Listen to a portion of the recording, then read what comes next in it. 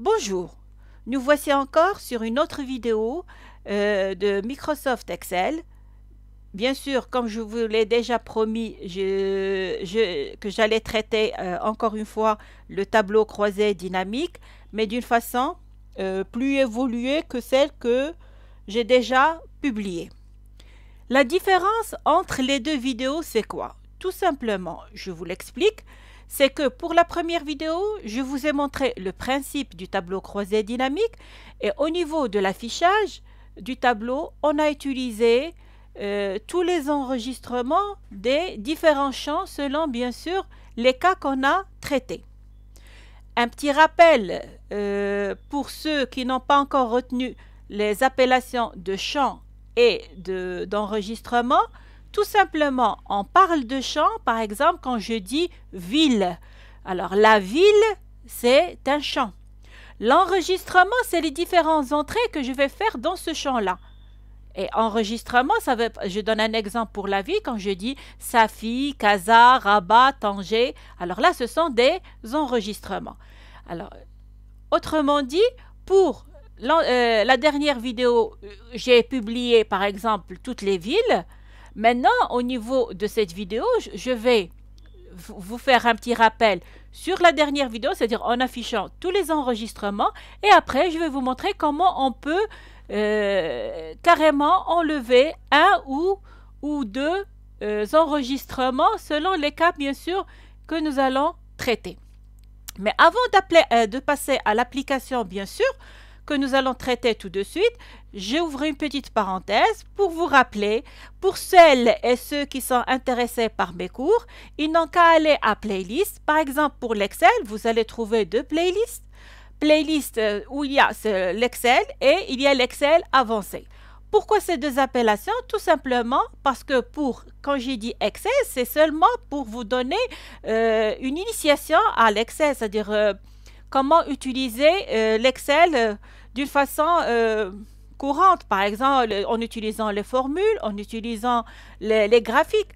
Mais quand on passe euh, à un stade plus, plus avancé, par exemple au niveau des fonctions qui sont un peu plus... Euh, je ne vais pas dire professionnelles, mais plus compliquées que, que qui sont normales comme la somme et la moyenne. Alors là, euh, en traitant la base de données de l'Excel, là, ce qu'on appelle l'Excel de deuxième degré.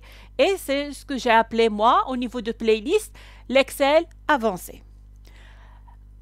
Euh, je pense que c'est clair et on va passer à l'application pour ne pas perdre du temps. Allons-y.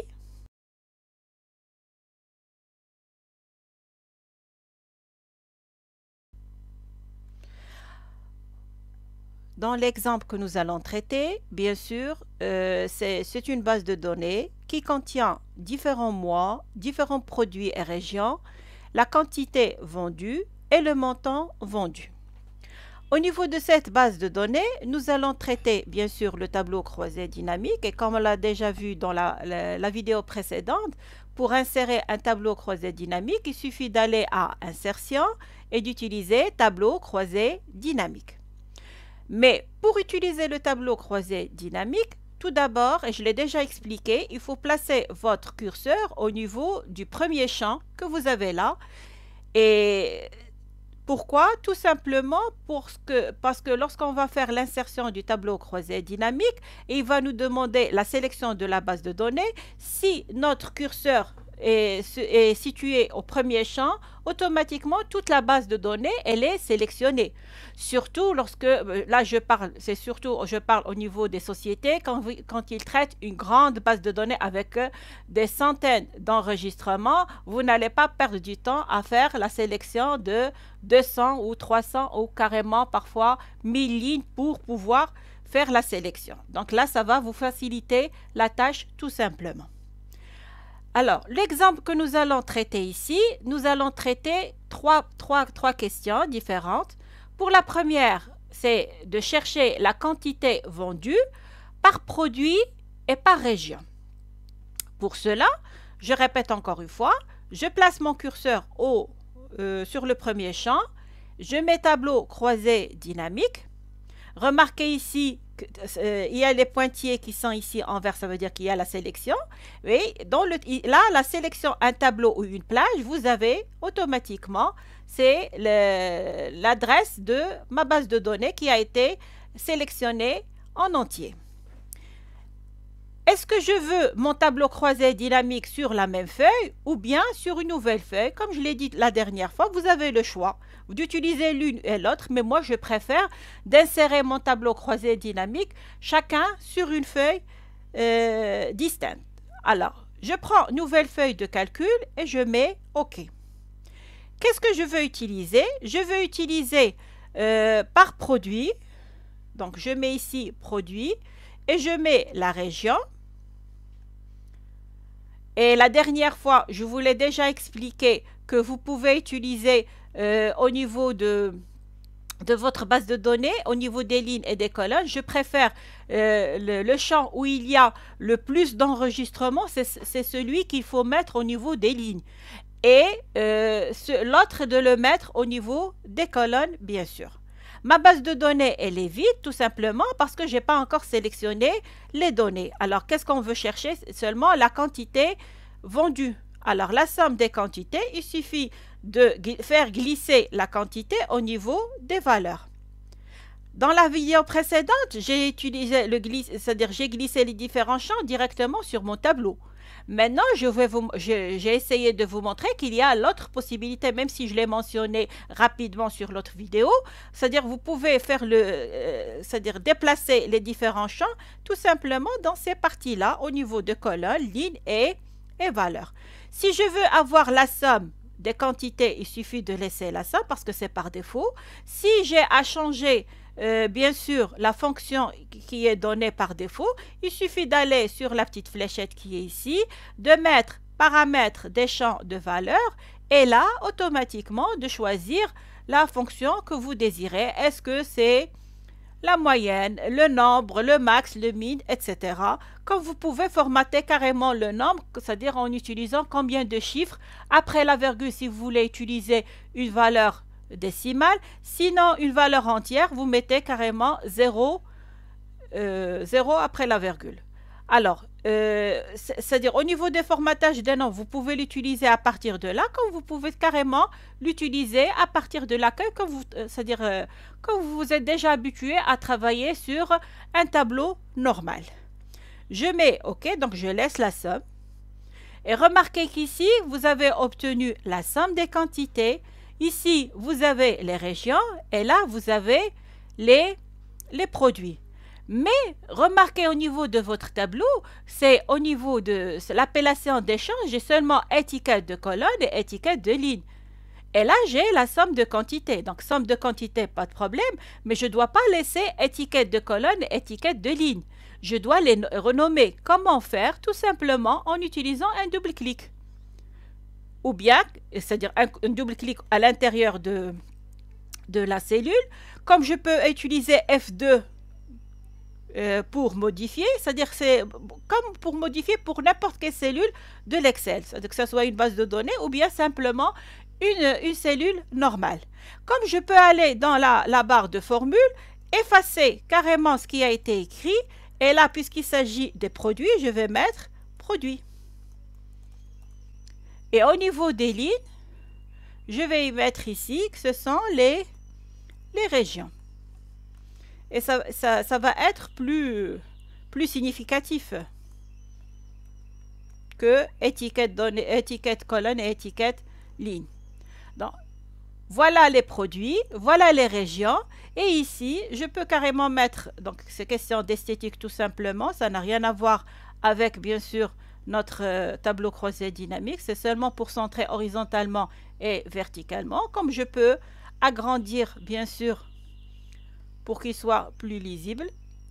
Ici, je peux utiliser, bien sûr, le séparateur euh, de milliers. Comment utiliser le, le séparateur de milliers en allant à nombre? Et ici, je choisis nombre et j'utilise utilisateur de séparateur de milliers. C'est-à-dire, il sépare chaque trois chiffres à euh, euh, en utilisant un espace entre les trois chiffres. Puisque là, ce sont des quantités qui sont entières, je vais enlever carrément la décimale en mettant 0. Et je mets OK. Et là, les chiffres, ils sont plus, euh, lisibles que tout à l'heure. Donc, je répète, là, c'est question d'esthétique tout simplement. Maintenant, le, but de cette vidéo, c'est de vous montrer comment afficher euh, certaines, certains enregistrements et pas d'autres. Alors, tout simplement, pour afficher un enregistrement et pas d'autres, il suffit d'aller à produit, par exemple. Je, pour le produit, je veux afficher seulement les robes et je ne veux pas afficher les chemises. Alors, si je veux afficher seulement les robes, je vais à produit. Remarquez ici, il m'a donné chemise et, et robe. J'enlève la sélection pour la chemise et je laisse seulement robe. Je mets OK. Remarquez ici, je n'ai obtenu que les données qui concernent les robes pour les quatre régions. Normalement, c'est les quatre régions, mais tant que les robes n'ont pas été vendues au niveau de l'Ouest, c'est pour ça que l'Ouest, il a été masqué ou bien il a été disparu tout simplement de mon, de mon tableau. Si je veux enlever le filtre, il suffit de revenir et de mettre sélectionner tout et OK. Donc là, c'est au niveau de la première question. Je dois renommer ma, euh, ma feuille en utilisant par exemple pour seulement savoir de quoi s'agit-il, je vais mettre produit, euh, c'est région et somme quantité.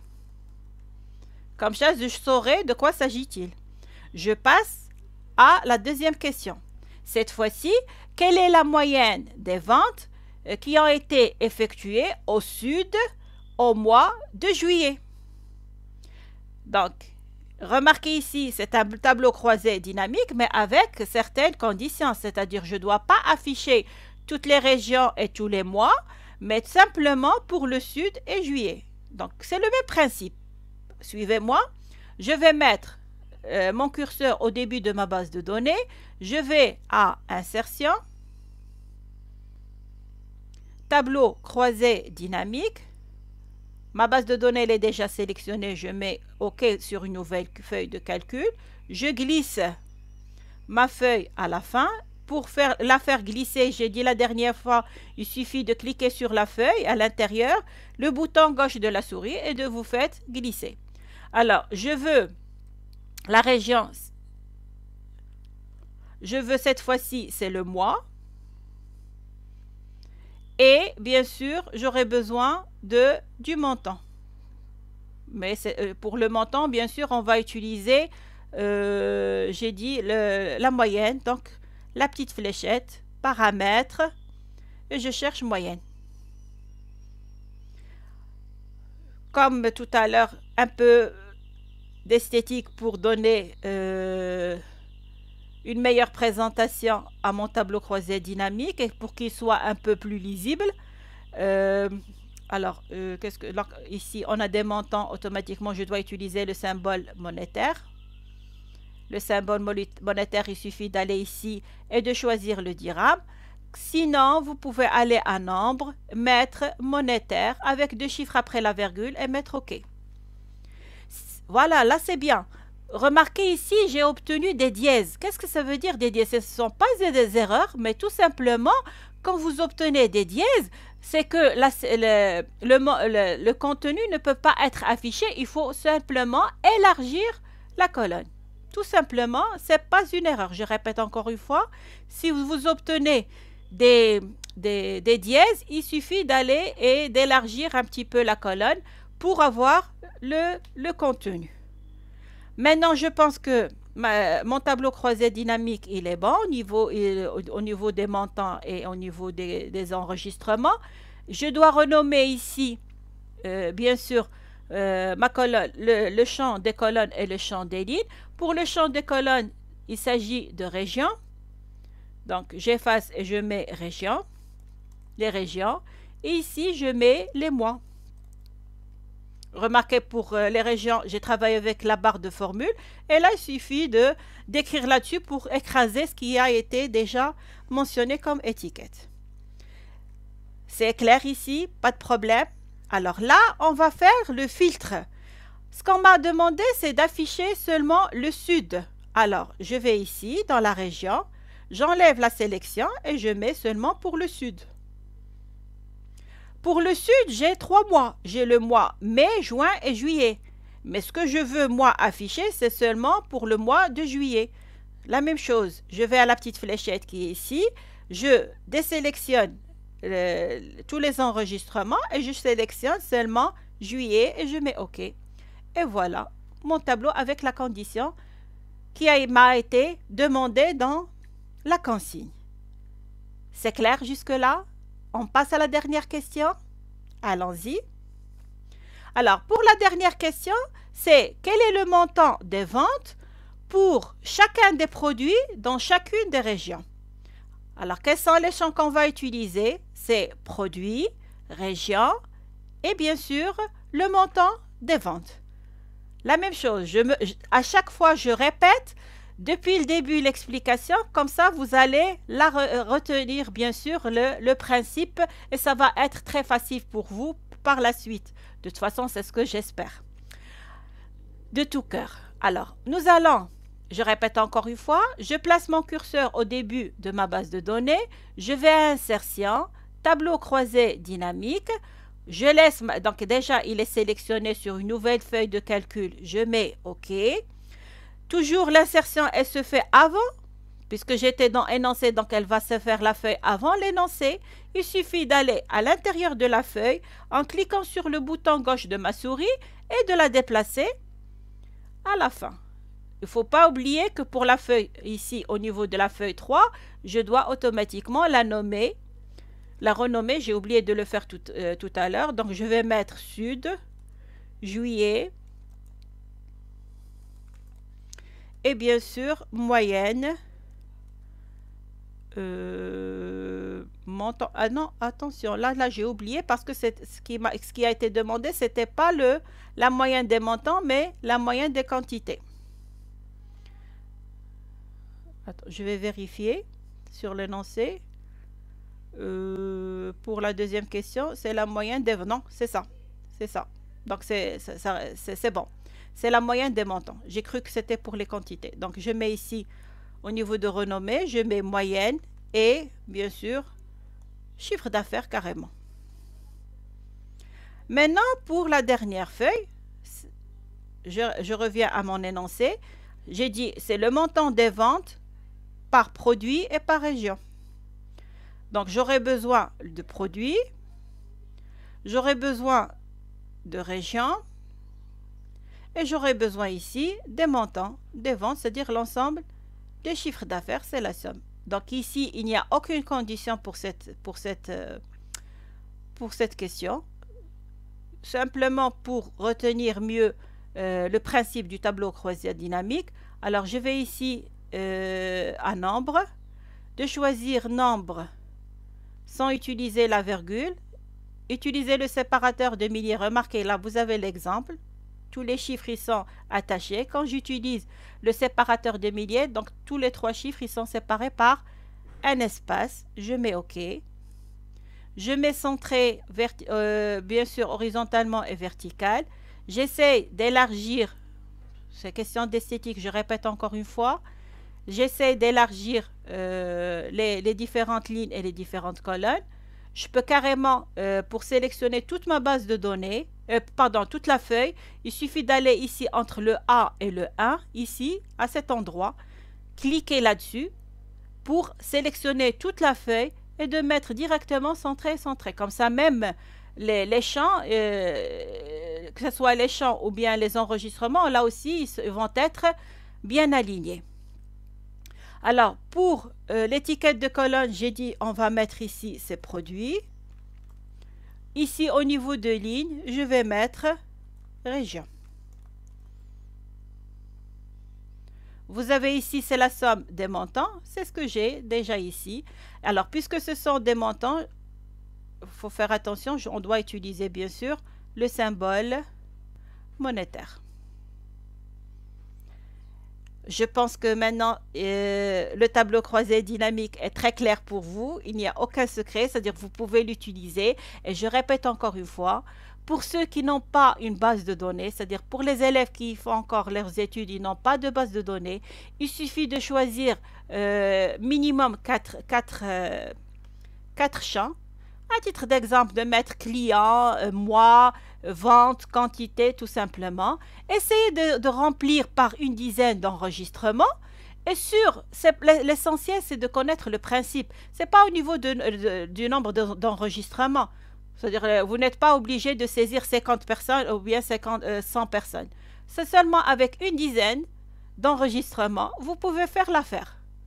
Alors, ici, je répète encore une fois, et euh, de créer votre base de données et essayez de vous poser, c'est-à-dire de poser certaines questions en utilisant trois champs. Le champ qui doit être au milieu, c'est celui où on peut appliquer, bien sûr, les formules, c'est-à-dire que ça doit être des chiffres, mais pour les autres, ça, ça va être seulement du texte tout simplement. Alors, j'espère que ma leçon vous a été bénéfique et à la prochaine fois, Inch'Allah.